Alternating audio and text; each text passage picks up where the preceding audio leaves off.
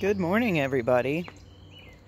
Welcome to a soggy and cool morning here in not so sunny West Virginia. Rained quite a bit last night, which is good news. That means I'll get to uh, mow my grass today. I'm so excited. If it clears up a little bit, hopefully, if it doesn't rain again. It's a bit wet right now, but welcome. This is my humble channel. You can check out the description box below to find out what we're all about. It's pretty easy, pretty simple. A bit wordy, but it's okay. If you are a if you're a lurker, if you're brand new, if you've been here a minute, just hit that subscribe button. It doesn't hurt. It's completely anonymous. It doesn't tell me who you are if your account's anonymous. So you can still remain anonymous if you want to be anonymous. We've got a whole lot of clucking going on inside today from our, our humble chicken flock. I'm glad it rained because it was starting to look a bit uh, a bit sad and shabby in here. Looks like some of the grass is starting to come back. They really... I think I'm going to fix something up out here. I think I'm going to put something like over here that goes from here to here. Of course, this is not my fence, so I'm not going to make it a permanent fixture or anything. Maybe put like a pole right up against the fence or some way to keep a piece of something to keep chickens in right here. A piece of wire or chicken wire. they have this like floppy like emergency fence stuff. And then I was going to put something like right here. So they would have this whole area. Look at all this green, green grass. They would tear this up. But just like, you know, once every two or three days or something, let them out and let them have some fresh grass. I also thought about doing that on the other side too. I had to put these bricks down because this piece of of uh, rabbit wire kept popping up. See my wet shoes. so I had to I had to take evasive maneuvers and do that. it's Mental Monday. And I want to tell you something that is very mental. I baked a loaf of bread. Oh, oh, that's right, I baked a loaf of bread. so I found this stuff. I've, I've been researching wheat and the, the different flours that we use um, in our food. And um, one of the things that I found was that most of the wheat that we have, like 99.9% of the wheat that we use is all hybridized and genetically modified. Like it's been, it's been, that we've been modifying our wheat for a very, very long time. And I think it's gotten to the point, I think that's why we have so many gluten allergies, like why this whole gluten thing has come about like in the last 20 or 30 years, because the wheat that we're eating is not the wheat that we were supposed to eat. The wheat that we're eating is not the wheat that we started out eating. And so now we have just changed it and changed it and changed it to the point where we don't tolerate it anymore, or some of us don't tolerate it anymore. I think that's another reason as well for um, uh, the reason that the keto diets work so well for people.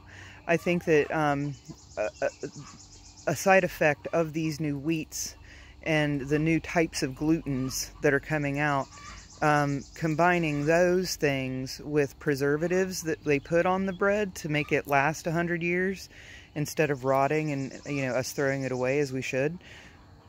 I think that all that it's like a deadly combination for some people. I think in some people it causes obesity, it causes heart disease, it causes di diabetes. I think our bodies just don't know what to do with it. So I started doing a bunch of research on this, and I found something called Eichorn flour. That's right, Finkel and Einkorn or Eichorn. Is that is that the name? I swear it's the name from uh, from uh, Ace Ventura. Anyway, um, Eichorn, E-I-K H-O-R-N, Eichorn flour. Um, it's expensive. There's a company out there called Jovial. Um, if you buy it on Amazon, I think it's like $7 a pound. Um, but I, there's a little health food store here in town, and I picked up a two pound bag of it, and I um, I'm pretty sure I did not pay that much for it. So I think if you buy it on Amazon, you're paying a lot for because it's heavy. It's very dense, dense, dense flour. Um, one thing I can highly recommend if you do journey into Eichorn flour, make sure that you get a scale that measures in grams. And because it's it packs like it's it's not like it's not like normal flour. She's not like one of the other girls. Um, it's different. It's it's very very cakey. It it packs very very easily. I don't think it would sift very well. None of the recipes I've used so far has called for it to be sifted, but I don't think it would. Oswald, you are weird. Anyway, I nothing, none of the recipes that I've used so far have called for um, it to be sifted. Everything that I've read, all the recipes that I've used it for, or read. I've, I've only used it for one recipe or two recipes, but I've read a lot about read a lot of recipes using it, and all of them say to make sure to weigh the flour rather than to measure it if you can, um, because measuring it is not accurate because of how much it packs in. Um, so I made a loaf of bread with this Eichorn flour. Um, and I've experimented with making bread before, right? And I suck at it. I'm horrible at kneading the dough. I don't know what the hell I do to that dough, but it doesn't, it never, it never raises properly. It never works out, right? Let's see if we have any eggs. So, um, last night I was reading some things about this Eichorn flour and I saw this, it was just an easy recipe for Eichorn uh, sandwich bread. So I was like, all right, and I looked at it and it had like six ingredients. It no need for a mixer. Everything was hand mixed and it looked so simple and easy. I was like, I'm going to make this. So I went upstairs and I made it. and it was delicious and easy and it came out perfectly just like these beautiful eggs. Look at that, you guys. Two of them first thing in the morning. Wow, that one feels really light, but this one is Mondo egg, is it not? Right on. Okay, so here's the Favrils. They haven't left this box since I put them in here.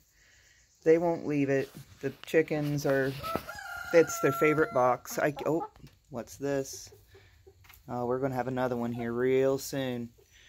You guys need to get out of that box. The other, that's the other chicken's favorite box. Come on, laddie. No need to, no need to be getting out. Oh, and laddie. Oh my God, you guys. This is the beginnings of a freaking egg factory. You realize that we could have up to 14 eggs a day. That's right. Look at, look at these. Look at that first thing. Thank you, girls. Thank you, girls. You pecan cheek cones. That's so awesome. So, anyway, back to the icorn bread. It was like six ingredients. It was um, that flour, um, sugar, salt, which I used pure cane sugar. I used that, um, I can't remember the name brand, but it's it's uh it's pure cane sugar. It's not it's not like like uh, stupid sugar. Um, olive oil, water, yeast. Yeah, that's what it, that's what was in it. It was flour, water, yeast, salt, sugar. Yeah. Oil. Yeah. Yeah, yeah. Flour, water, yeast, salt, sugar, oil. That was it. And uh, it was freaking delicious. Like, my mom wanted three pieces. she was just, and it's heavy.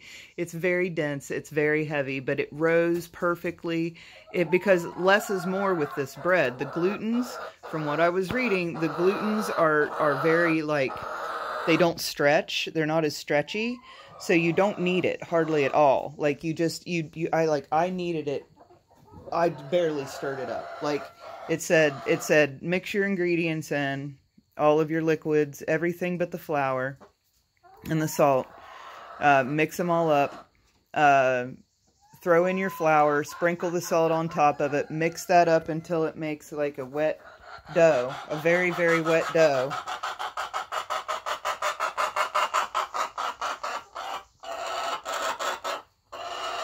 Chickens of the jungle. Um, until it makes a very wet dough. Let it rise for 40 minutes or 45 minutes, I think. Let it proof.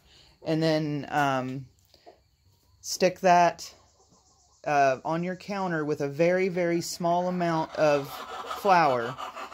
Dust, dust your counter real like it said like two tablespoons of flour to use that on the on the table, not to use more than that, um, because the dough will pack into your flour and you'll get like um, chunks of flour in your loaf. Um, so use two tablespoons of flour to dust off your counter. Throw your loaf on the counter after the proofing. Um, put it into the shape of a loaf. Just very, very briefly work it into the shape of a loaf. Again, less is more when you're handling it. And then throw it in a very, very well greased, very well greased loaf pan. Um, put uh, paper over to, or um, plastic wrap over top of that. Like but you want to like grease your plastic wrap, the, the side that's going to be touching or potentially touching the loaf because it will stick really, really easily if you don't do that. So grease your um, piece of plastic wrap, wrap it tightly over top of the loaf pan, let that rise for 30 minutes, and then stick it in the oven for 40 minutes. And it was freaking delicious. There's the tiny little butt of the, of the loaf of bread left up there. I had the crust. That's all I had was the heel off of the bread.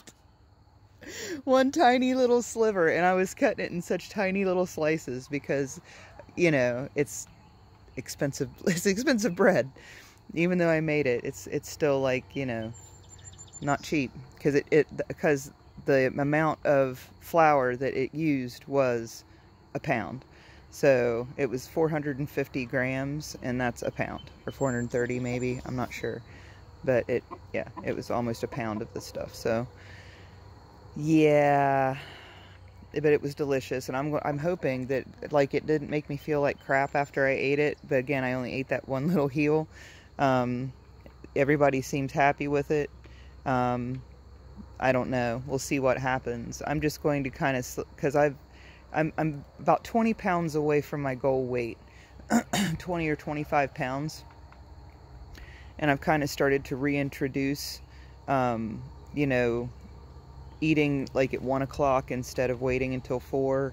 Um, I've kind of started to ease back into kind of a, a normal eating routine. Sans breakfast, I can't do breakfast. I just can't.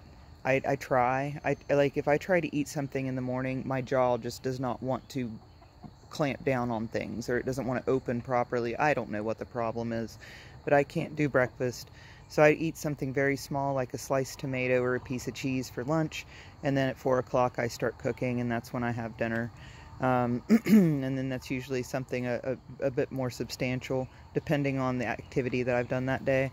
If I've done a lot of physical activity, it'll be something a little bigger. If I haven't, then it'll be something smaller. Kind of makes sense. It's input versus output, basically. But the Eichhorn flour, definitely take a look at that if you have the chance. Amazon does have it. Jovial has a whole line of products. I haven't tried any of them, so I cannot give you any insight. Oh, I, that's a lie. I have tried their sea salt crackers. Um, they have, it's almost like a saltine, very dense. I, I can eat like three of them, and it's like eating a whole a whole pack of, of saltines. You know, the whole sleeve, because Mama used to do that. Um, three of those crackers is like, fills me up like eating a whole sleeve of, of regular saltines. So um, Jovial, they have uh, pastas, they have all kind, they have wheat flour, they have all-purpose flour, they have white flour. Um, they have all kinds of different products. Again, I've only used the flour. I cannot attest to whether this helps with weight loss. This is my first time. I'm brand new. My first day. I'm that guy. Okay? So, all right. Thank you if you've hung out this long. Thank you to our 130 best friend subscribers. And um, then we have our uh, our comments. Thank you so much. I don't know what's up with the comments being turned off on yesterday. No clue. I don't even know how you do that. I've never tried to do that. I tried to look and see if there was a way to turn them off and on. I see nothing. So I don't know. I, I need a better YouTuber than I to uh, to work that out. But um, yes, thank you to all all of the commenters and subscribers. Oswald's, Oswald uh, is going to continue to uh, shuffle about the ladies here, I suppose. Looks like it's going to rain again, and everybody have a wonderful day. Thank you. Bye-bye.